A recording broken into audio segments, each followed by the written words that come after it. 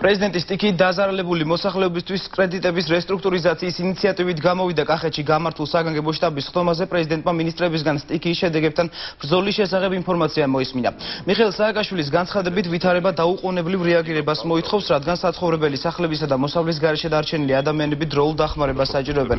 ხელისუფლება აცხადებს, რომ დაზარალებულებზე სასურსათო და ფინანსური კომპენსაციები გაიცემა. 4 დღის განმავლობაში კი გაზი და ელექტროენერგიის მიწოდება მთელს კახეთში აღდგება. კარგია რომ განვითარდა ბოლხანებში ეს მიკროკრედიტისაც მოსამეურნეო. ბაქარი ხალხი ვისაც ქონდა 0.3 ჰექტარი, ნახევარი ჰექტარი დღეს ნახე დარგული, იმას ყველაფერი გაუნადგო და შეიძლება შიმშილით მართლა შიმშილით პირობებში აღმოჩნდეს. ამიტომ ამათ ნამდვილად გადაუფარავთ ყველაფერს. რა თქმა უნდა დანარჩენები რა თქმა უნდა ვისაც დიდი კრედიტები აქვს და სხვა იქ რესტრუქტურიზაციაზე უნდა ვილაპარაკოთ.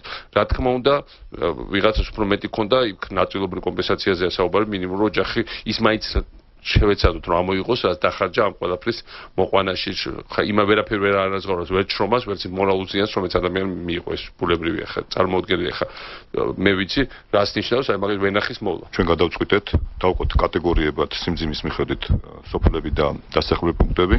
ჩვენ ვაპირებთ როგორც სასურსათო კომპენსაციას ასე ვთქვათ დახმარებას იმიტომ რომ ხალხი პრაქტიკულად დარჩა ელემენტარული შემოსავლის და საჭმლის გარეშე. ამავე დროს ვაპირებთ ფინანსურ კომპენსაციას